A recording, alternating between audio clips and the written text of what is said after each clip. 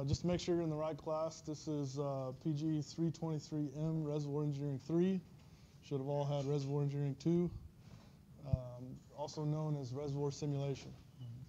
So uh, this is the class where we get to put to use what you learned in Reservoir Engineering 1 and 2.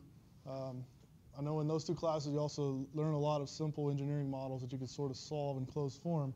Uh, in this class, we're going to be dealing primarily with partial differential equations that are nonlinear and you can't solve in closed form. So we have to resort to a computer to solve them.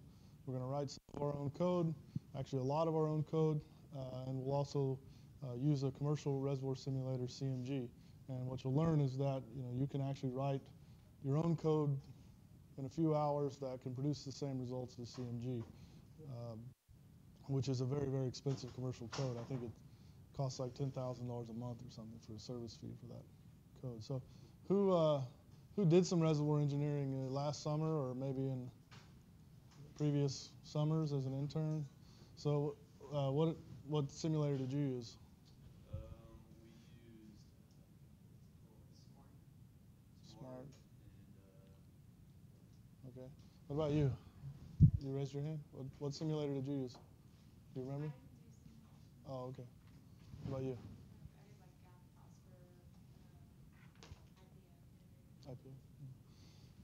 So the sort of two big commercial ones are CMG and Eclipse. Uh, CMG and, and Eclipse is, sl- Schlumberger's, right? But uh, basically, all of the super major companies have their own in-house simulators that they don't share.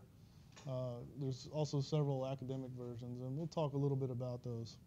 Um, but basically, just as an overview, as a reservoir engineer, your, your primary job is sort of to figure out how much oil and gas you can produce in a reservoir. So somebody who works in formation evaluation will give you a picture of a reservoir and some information about the porosity and permeability and other things, and you'll have to construct a, a, a mathematical model of that reservoir, a numerical model of that reservoir, and then try to use what you know about math and physics to determine how much oil and gas is in the reservoir and, uh, well, more specifically, how much can we produce from the reservoir given the conditions that we know. And, and then once we sort of decide that it may be economical or part of the decision that it may be economical to go out and bring a reservoir into production, then our job as reservoir engineers to, to figure out how to do that and optimally, right? How do we get it out essentially as fast and as cheaply as possible, right?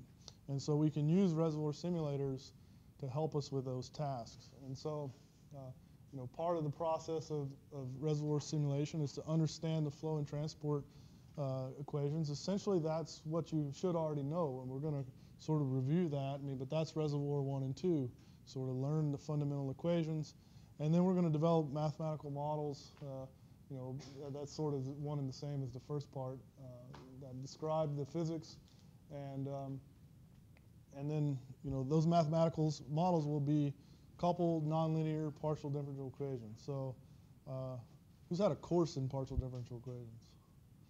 Probably no one, right? I, I never actually had one until I was in graduate school either. Um, but it turns out that uh, it's not really that useful to take a course in partial differential equations because there's only about five in the entire world that can actually be solved with a piece of paper. Um, it's very useful to take numerical courses like this one in finite elements and other things, but uh, you know, as an engineer, most of the problems we go out in the real world, you know, they, they, they aren't nice closed form things. We have to make decisions about them. We have to resort to using the computer to solve them. Um, and that's sort of the last point, that most of these PDEs uh, can't be solved analytically. So um, make me do this every time. So along uh, those kind of two uh, big questions or big big picture jobs as a reservoir engineer, how much oil and gas can we produce and how fast can we get it out, you know, how economically we can get it produced, they bring rise to several other little questions, you know. And, and really, it's, it, most of them relate back to economics. And the nice thing about, you know, I, I heard Dr. Balhoff say this morning that the reservoir simulator is a crystal ball. Well, I'm not going to go so far as to call it a crystal ball because at least the crystal balls I've seen in movies are always right.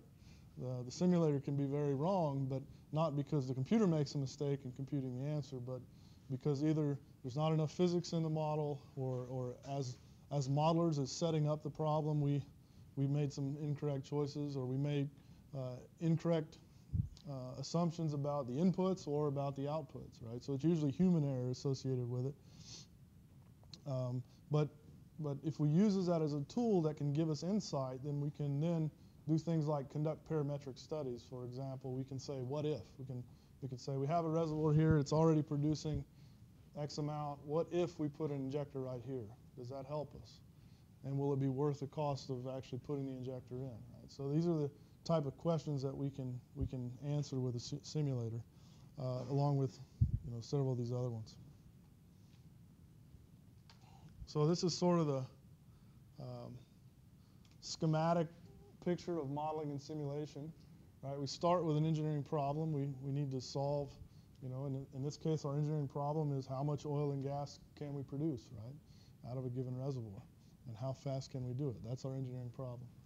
And really what separates engineers from physicists and everyone else is really this first step in the process, turning that engineering problem into a mathematical problem. So an engineer's job is to decide what physics are important and include those physics in a mathematical model. Right? A physicist's job is to include everything, right? You know, where every atom is at all time. That's what they want to know, right? And, but an engineer's job is to say, you know, what what were the most important physics and everything else that we can you know get away with let's throw it out so that we can get a solution in a reasonable amount of time uh, under reasonable assumptions. And then with that we have a mathematical model. Now anybody really with a training in mathematics physics can do this second part you know turn the mathematical problem into the numerical solution. And so uh, that's going to be a big part of this class. You'll learn one of the techniques to doing that. There are many many ways to you know, take continuous partial differential equations and, and, turn them into a discrete set of algebraic equations that we can solve on a computer. Um, uh, we'll talk a little bit about how we're going to do it in this course, but today. But this primary concern of this course is, is this bottom section, learning how to turn the mathematical problem into the numerical solution. And then once we have a numerical solution, the rest is we have to use our engineering intuition and economics to take that numerical solution and make engineering decisions, decide should we put that injector in or not?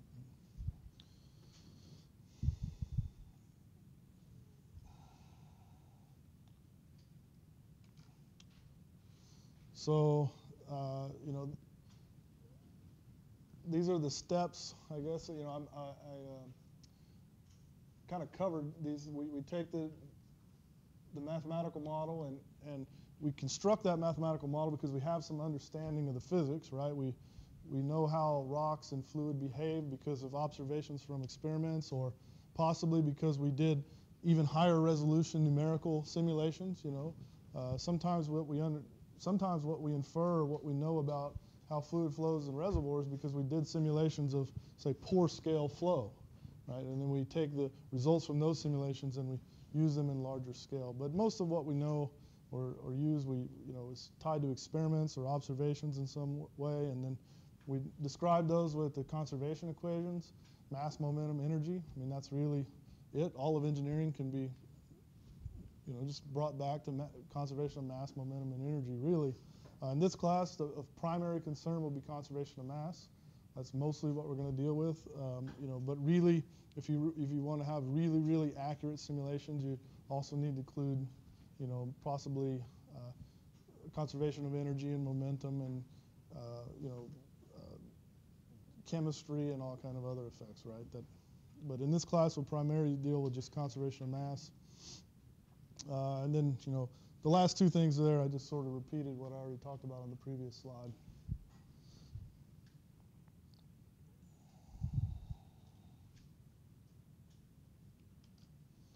So the general idea or the, the, sort of numerical technique we're going to use in this class is we're going to take our complex reservoir, right, and that reservoir has got very heterogeneous, you know, uh, structure in terms of the material properties. So porosity is changing, permeability is changing, all over the reservoir, right? And we're going to take that reservoir and we're going to break it up into little pieces, as smaller pieces as we can get by with.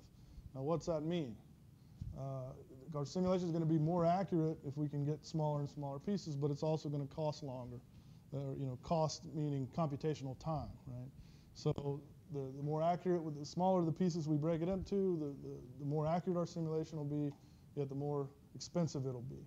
And so we have to, as engineers, make those decisions, what's accurate enough. Or, uh, or sometimes we do things called convergence studies where we basically progressively get use smaller and smaller grids and we look at how the answer is changing and then at some point we determine, well, you know, this is, this is good enough for our solution. And so, uh, you know, the, the, the picture there kind of describes it. We take this thing that, that has, you know, very continuous um, graded properties. So that the image on the left is, uh, is, is, uh, is actually a reservoir simulation where there's an injector and producer on each side. And in, inside, those color bands represent changes in uh, permeability. So like red, you know, there's one scale. So red and blue, like red would be high, blue would be low. Right? So changes in permeability throughout the reservoir. And we break that thing up into little discrete blocks. And inside every one of those blocks, we're going to assume that the permeability is constant, right? And so this procedure is called essentially finite differencing. You might remember this from a numerical methods class you took. You probably certainly have done it in one dimension. Here we're going to do it in three, right? But we're basically, we're going to break that up into blocks, and each of these blocks have a constant material properties in terms of permeability, porosity, and when we get into multi-phase, saturation, and other things, right? So we're going to be solving for pressure and saturation in each of those blocks. And now, in reality, you know, reservoirs are very large, kilometers by kilometers. So these blocks, they're going to turn out to be as large as this room, right? In, you know, in physical dimensions. And of course, if you go out in a reservoir, there's no single homogeneous piece of rock anywhere in the world that is as large as this room and completely homogeneous, right? So that's an assumption we're making right there. Um, you know, almost all commercial reservoir simulators are going to use this sort of finite differencing or finite volume techniques where they're going to be, you know, basically each block has constant material properties. But I will just say, uh, and we won't discuss it again, but I will just say that, you know, when I when I first said all those field equations, there's multiple ways to discretize them. There there are more advanced techniques for discretizing this such that in each of those blocks you don't just have constant properties. You could actually introduce interpolation into the formulation. And so then across a block you might assume that uh, the pressure saturation varies linearly or quadratically. And, uh, and so that, that's a concept that really comes from finite element analysis. But of course, the more complexity you add to the simulator, the more expensive it is, the longer it takes to get a solution. So really these finite differences are as about as simple as we can get, but they're also as fast as we can get. Uh, and that's why they're used in almost all you know, kind of commercial sim simulators. So basically we break it up, and then well, now we have discrete things. So we started with some continuous equation, you know, differential equation. But when we int introduce the discrete nature, we break it up into these little blocks, those differential equations become algebraic equations, right? And then we can just solve those algebraic equations like you've always solved. You know, they're essentially just matrix equations. It's just, in this class, we're going to learn how, exactly how to construct those matrix equations. So again, of primary concern in this class is conservation of mass. So really, if we, if we take every block in isolation, and we just write down the conservation of mass, how much mass goes in minus the mass that goes out has to equal the mass that's accumulated, right? And accumulation can come from compressibility in the fluid or the rock, right? And in steady state, then there would be no accumulation, and it's just the mass that goes in has to equal the mass that comes out, right? And so we take each of those blocks in isolation and we write that equation. It's pretty easy actually when you write it, you know, algebraically like this. Mass goes out equals mass that come in, right? At least in steady state. Uh, of course, we have to do that for every component, right? And so in a real reservoir, there's many, many components, many, many phases, right? So there's oil and water and different, um, you know, gas, you know, different, all these different little species uh, that could be in each block, right? In this class, we'll primarily just deal with like two-phase oil and gas. Um, and, and then we do this for every cell. So every cell, and then we, you know, there's continuity across. So, you know, anything that's exiting one block has to be entering the one next to it, right? So there's a continuity across there, and that's what couples equations or ties them together. Okay, and then we can construct a big algebraic matrix equations, and then we use a computer to solve them. Right? And so just we'll review these in more detail uh, in the upcoming, but you know there's uh, basically the mass balance, the, the partial differential equation. It's a partial differential equation because there's derivatives in space. In this case, it's just one dimension, so x is a, is a, is a direction. So Uh, you know, there's a spatial dimension x, and then there's also time, right? That's why it's a partial differential equation. And in this case, we're solving for two. It's a two-phase, so oil and water, and uh, and you know we would solve these equations for the pressure and saturation. So we'd basically discretize this equation, solve it on every block, couple them all together, right? And when you get when you do couple them, you, you get a set of a, a matrix equations, and while the matrix equations could be big, they're big because basically there's one row in the equation, one row in one column for every unknown, right? And, and every block has at least two unknowns, pressure and saturation, right? So there's, there's one equation, one row, one column for every unknown. And if you have a million blocks, which is not unusual, I heard uh, Dr. Balhoff say this morning that Saudi has a model, Saudi Aramco has a model that has a, a billion cells, a billion grid blocks, okay? And so if you have a billion grid blocks, you have like two billion equations at least, you know, in sort of the simplest model that you could come up with. And so now while that's a lot of equations, it turns out that the matrix is really sparse. So they're, always going to have some kind of structure like this. In one dimensional, they'll always be in one dimension they'll always be tridiagonal. In two two dimensions they'll be pentadiagonal. So they'll have a another off diagonal row here, but everything else is zeros, okay? Everything else is zero. So in a real commercial simulator, and, and we won't be so uh, judicious in our coding in this class to worry about it, but in a real simulator, you would use very smart data structures such that you don't have to store all those zeros, right? You just store the non-zero values. Uh, so because, you know, storage in a computer also expensive, especially if you get really big, all right? So this is sort of what we're going to focus on, at least in the first part of the class, is how do we take those PDEs and convert them into uh, algebraic equations. So what do you need to create a simulator? I mean, that's essentially what we're going to do in this class. We're going to create our own reservoir simulator. We're also going to use CMG. Uh, but we're going to create our own. And what do we need to do that? Well, the first one is the things you learn in, in Reservoir 1 and 2, right? What are the conservation equations? And, we'll review those here. And the other things you've really known, known for a long time if you took 310, right? The, the, you know, the MATLAB class, if you will. So these are things like root finding and solving equations and interpolation and all this stuff, right? So uh, how many of you are experts at MATLAB? No one? Not a single expert? So I, I think Dr. Balhoff visited you guys that maybe if you took Reservoir 2 last semester at the end of the semester and made you aware of a bunch of videos that he made and told you to watch them over the summer, right? Because you're going to need them for this class. Who, who watched those videos? no one? Okay. Where, where can we find? We'll talk about that later. We'll talk. I'll, I'll show you here in a minute, right? So, um, you know, if you if you're not a proficient at MATLAB, uh, you get about two weeks to spin up because that's when your first homework is due. And your first homework turns out is all stuff that you should know how to do from 310. I mean, you could you could work it today if you have a little bit of computing skill, right? Um, so, you know, uh, we'll talk about the, where you can watch the videos and brush up and other things. And so. Uh, we'll skip this one. So, question you might have a question. Well, why can't we just spend the whole class? You know, I'm not gonna. The chances of me riding a reservoir simulator or using a reservoir simulator in my job are close to zero. Therefore, why do I need to waste my time? Why can't we just learn to be experts at CMG or Eclipse or some other commercial simulator? And and so here's some reasons. You know. Uh, there's there's great danger in using software that you don't know. You know, we have an, an expression. I've been doing computational mechanics for about 15 years now, uh, in different forms, different physics involved, and Uh, we have an expression that's uh, garbage in, garbage out, right?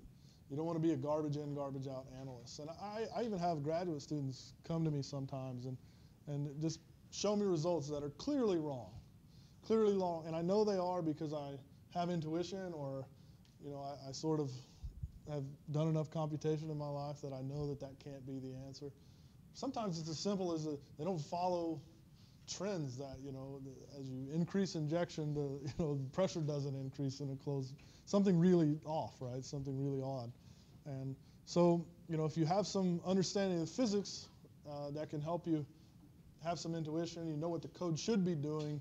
That can help you have more confidence in your results. And we'll also talk about other things besides just intuition that can ha- help you have confidence in your results. Like you know I mentioned earlier, things like convergent studies and other things like that can help. And we'll talk about some of that in that class. Also, you know, like when I go back to that other, that very first or third slide or whatever, I said the hardest part of the problem or the thing that distinguishes us as engineers are deciding how to go from the real problem, right? The real problem being, you know, every characteristic volume that's 20 angstrom by 20 angstrom is different from the one next to it, right?